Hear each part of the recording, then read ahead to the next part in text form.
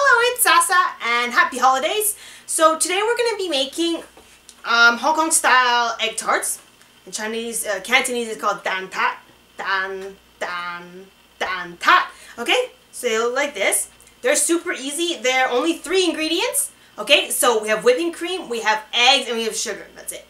And the pastries, they're already pre uh, pre bought, so they're pre-made, so it's really so fast. You just pretty much dump everything in um, a glass um, pitcher. You whisk it up, put them in, bake it, and it's already fresh. Eat it like right away. Right now they're like still really hot, so this is the best time to eat it.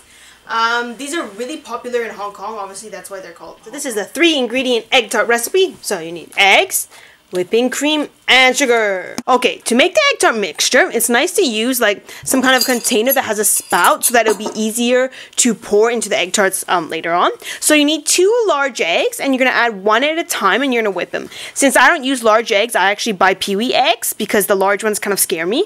Um, so I want to do three baby eggs, so the peewee eggs. So you add one at a time and you whisk it up. Then you add the next one.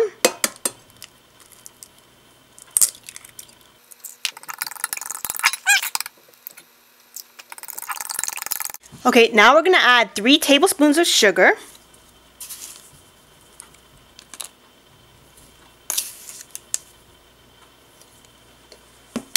We're going to stir this.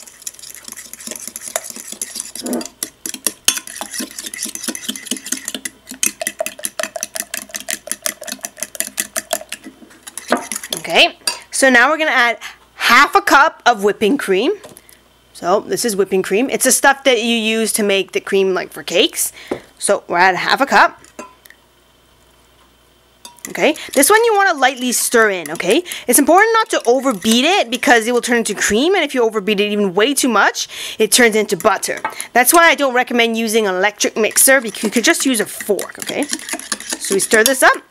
Now our mixture is ready. Okay, so this uses the regular um, uh, pre-made the tart shells. So this is what they look like. So this is you you use these to make like meat pies and other stuff as well. So it's already pre-made. These are frozen tart shells, and you can get it in the frozen section, right? You know, with the frozen French fries. And so with a fork, you want to stab like the bottom a little bit. Okay, this is for ventilation purposes, and so that the um, pastry part won't um, burst or like explode.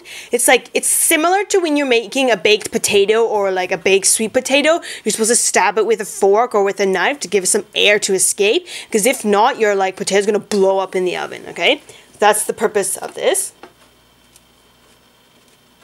And these tarts are cooked from frozen. So you take them out of the freezer, you place them out, and you're ready. You don't need to defrost them or else it's going to turn all mushy. So now with our mixture, we're going to carefully pour some into each of them.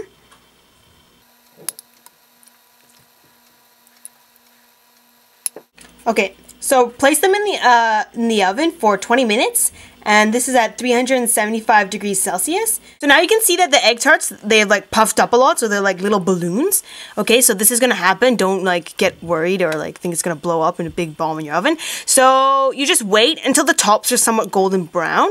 Okay, and also at this point you can also check and like stick it with a toothpick or like a sharp knife to check because sometimes the center can be still runny and we still want we want it to be fully cooked. So now you can see they're golden brown the tops and they're puffy, so they're starting to sink down poke, poke, poke. Okay, so it's all done. Let's take a look. So yummy.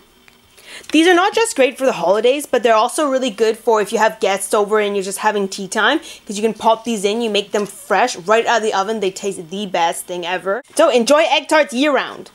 Okay, so that's the end of this tutorial. So I hope you had um, fun watching it and now you're going to go out to the store and buy all your ingredients to make it because these are like just so awesome, okay? Um, super delicious. You can probably just eat like a whole half dozen and then, well, don't eat a whole half dozen, you'll probably get sick. So make it for your family and enjoy the holidays. Bye bye. Thank you.